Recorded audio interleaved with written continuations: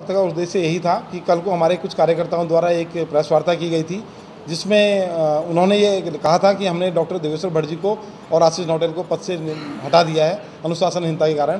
तो हमारा आपको ये बताने का उद्देश्य है मेन कि जिन लोगों ने यह बोल के मीटिंग करी कि एक कोर कमेटी की मीटिंग है, कोर कमेटी हमारी दो तारीख को भंग हो चुकी है, जिसका तीन तारीख को न्यूज़पेपर में छप चुका था। तो कोर कमेटी नहीं है तो वो कोर कमेटी के मेंबर कहाँ से आए? तो कोर कमेटी इस समय है नहीं और दो लोगों ने खुद ही बैठ के एक प्रेस करी, जिसका कोई औचित्य नहीं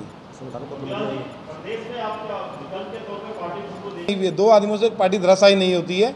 आज देखिए, जब पार्टी बढ़ने लगती है तो कई उस पर आरोप, प्रत्यारोप और सब कुछ चलता है। ये नियम है कि जब भी कोई चलता है तो उसके पीछे ही लोग पड़ते हैं। आज पार्टी सही चल रही है और बहुत अच्छे स्तर पे चल रही है। और आज ऐसे लोगों की छटनी हो चुकी है जो पार्टी में गलत तरीके से जुड़े हुए थे, उनकी छटनी भी हो चुकी है और पार्टी बहुत अच्छी तरह चल रही है और चलेगी आगे भी। ऐसा भागा नहीं है। एक दो लोग अगर किसी कारण से जुड़े थे उनका कारण सिद्ध नहीं हुआ तो उन्होंने एक मीटिंग करके इस तरह से बातें बोली हैं। कोई इसमें भागा नहीं है ना भगाया गया है। अभी सब पार्टी के अंदर हैं और पार्टी के साथ बहुत बड़ा तबका जुड़ा हुआ है और वो हमसे कल से संपर्क में भी है कि क्या हो रहा है। लेकिन एक दो सदस्य मिलकर ऐसे फैसले नहीं कर सकते जिस तरह कल हुए हैं। उन लोगों के ऊपर क्या कार्रवाई उसके बाद उन पर कार्रवाई भी की जाएगी। कार्यकारिणी भंग के बाद? कार्यकारिणी भंग सिर्फ़ कोर कमेटी की की गई थी। और कोर कमेटी के जितने पद थे वो सब ऑलरेडी खत्म हो चुके हैं।